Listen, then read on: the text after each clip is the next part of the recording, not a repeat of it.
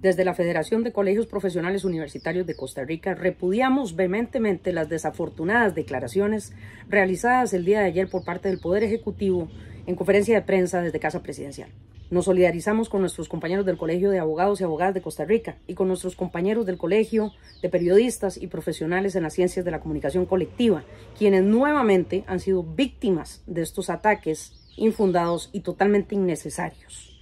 y estos intentos de desacreditación de este sector profesional de la población costarricense. Esta afrenta no es únicamente para este sector profesional, esta es una afrenta a todo el sector profesional de nuestro país, donde se desacredita la capacidad argumentativa del debate sano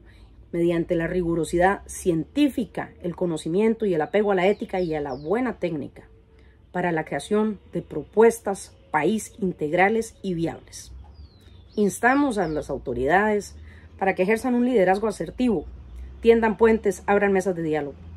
Esta federación, al igual que todos los colegios que la conforman, tiene la mayor disposición y el más grande compromiso con la sociedad costarricense de sentarse a aportar desde el conocimiento, la ciencia, la técnica